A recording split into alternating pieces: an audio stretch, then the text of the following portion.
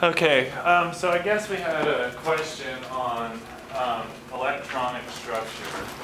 And so let's just go ahead and make a list of what the electronic structures can be and how you figure it out. So uh, the way to figure out electron electronic structure is to look at the central atom um, and ask yourself how many groups of electrons does it have around it, or electron groups, okay? And so recall electron group, so let's write that. So electron group.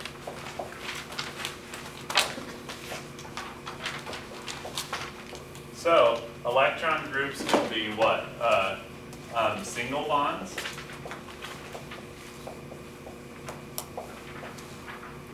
double bonds, um, triple bonds,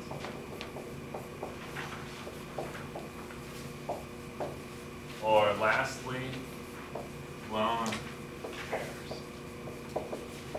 So each one of these counts as one electron group. Okay, so a double bond counts as one electron group, a triple bond counts as one electron group, a lone pair counts as one electron group, and a single bond counts as one electron group. Okay? So if we look at an atom, and we just think about electron groups, okay? So if this thing's got, and again, the electron groups can be any of these things, okay? So if it's got two electron groups around it, well, let's make them bonds instead.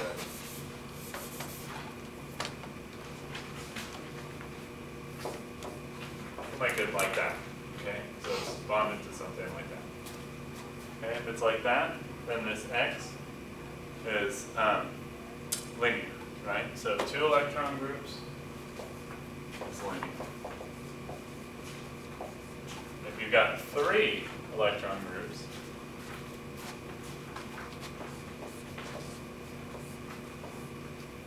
like that. And again, they don't necessarily have to be all bonds. Okay. Um, you got trigonal planar.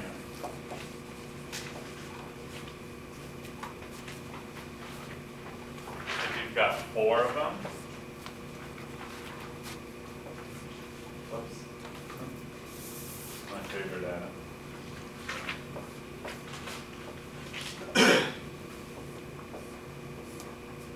Like that, four. Gonna be, you guys help. You guys.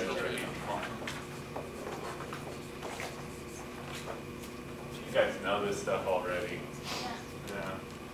Um, five? Not yet. Yeah, trigonal bipyramidal, so it's gonna look something like, I don't know.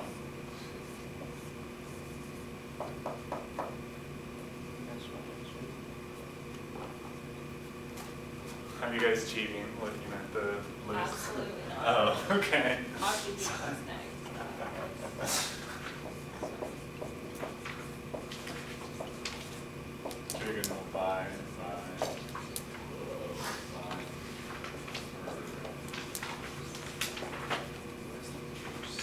Okay, and then lastly is six, and what is that one?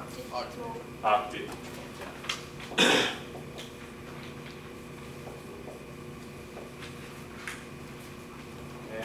and I don't know, we'll just do all one.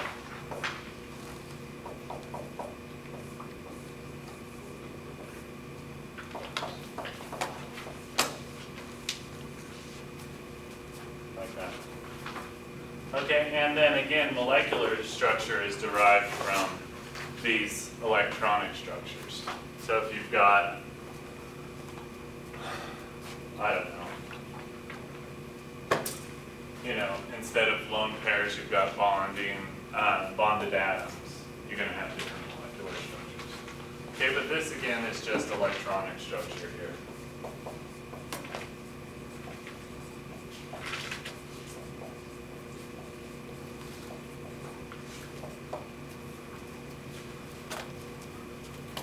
Okay, any questions about that?